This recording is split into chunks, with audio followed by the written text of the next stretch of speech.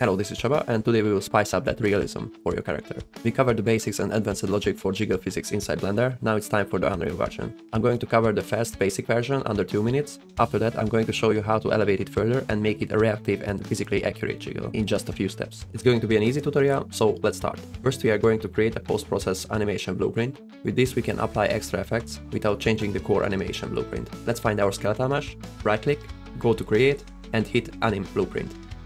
Name it ABP underscore jiggle, for example. Open it up, look for an input pose first. Next, a spring controller.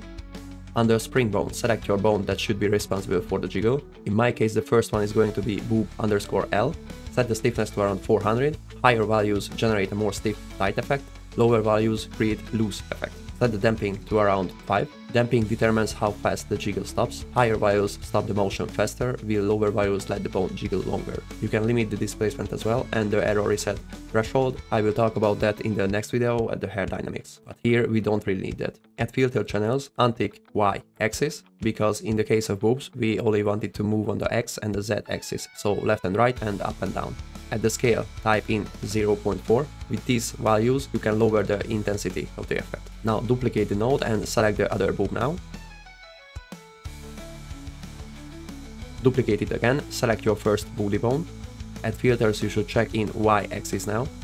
At stiff, type in 600 to make it more stiff and 8 for damping for a faster settle and scale it up to around 0.5. Now duplicate it again and select the other booty Connect the nodes, it will automatically create a component to local node between the endpoints. Compile it. Open our skeletal mesh and look for a post-process anim blueprint. Here, select the anim blueprint we just created, save it, and now we already have our basic jiggle effects. Let's make it closer. More closer. Now I'm just going to add our mesh to the scene and show you one problem with this. So if I'm trying to hit this jiggle, it won't react. But I want it to be reactive for reasons, I mean realism. So to achieve that, there is three versions. First is with a rigid body node. Second method is with Anim Dynamics.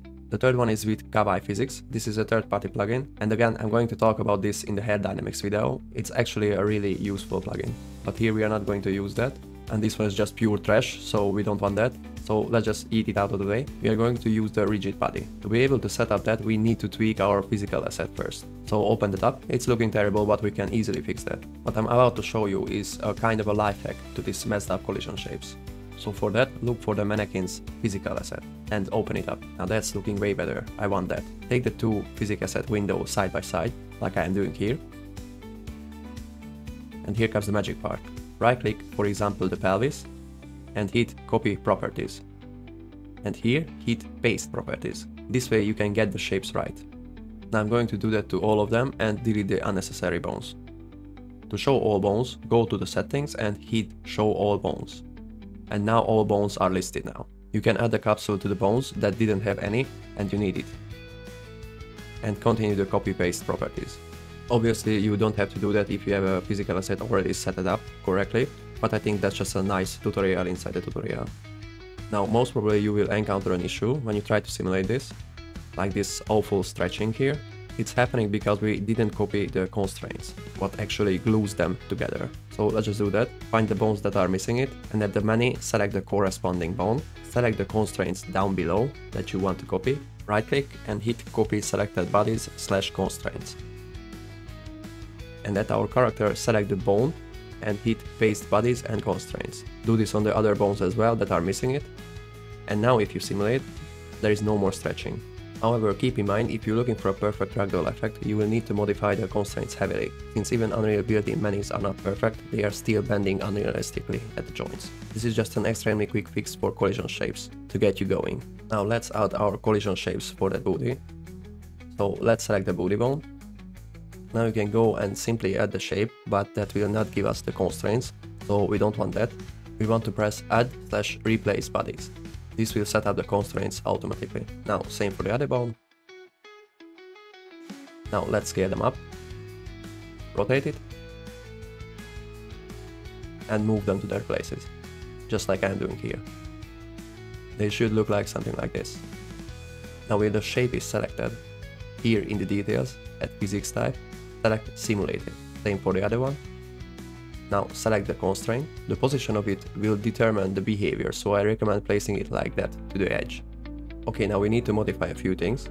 At linear limits, check the X and Z motion to limited, and type here a low value 1 or 2. Here at the advanced, you can modify the behavior even more, but we don't want to overcomplicate it.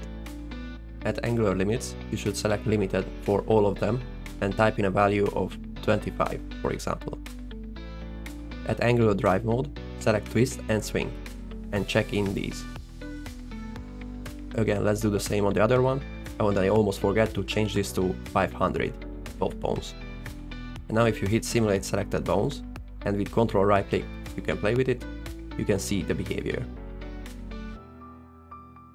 Now here let's just switch to this rigid body and skip the spring bones for now and see the results. You can see we got almost the same result, if not better, the normal movement. But now if I try to touch that tushy, it starts reacting. It's really subtle and I can't really reach it uh, because of the capsule component. I should set up some sort of a shooting mechanism so you can see it better, but I'm not going to create a projectile now. I did create a projectile. So as you can see, if I start shooting stuff inside her butt, it's going to react to that properly. You can even pump it like crazy and it's still reacting physically accurate. So this is great, but how about some self-collision? As you can see, it's not reacting to the hands, only to other actor collisions. So how we can fix that? It's actually two clicks. So in the physical asset, select any of your bone, go to collision and hit enable collision all. And now if I look at it, it's reacting to the hands. Now you can fine tune this to give collision to each finger and so on, but it really is up to you. But I get it, sometimes it's just important for the plot. So anyway, we can also add these spring bones back to the jiggle mix, but it's really important that the rigid body has to be before the jiggle booty nodes, otherwise it won't behave as it should.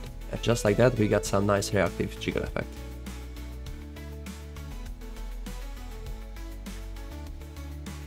You can do the same stuff on the boobs as well. The only main difference is at the angular limits, here just set the swing motion 2 to locked. And now I can even shoot her in the boobies. Again, make the rigid body node first, then the spring bones. Compile it, and we are all done. Additional extra tip, you can modify the weight paint or add bones with this plugin.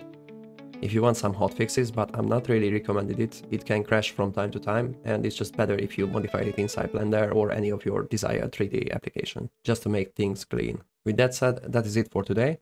I hope you learned something new. If you did, please leave a like, subscribe, and I will see you in the next one.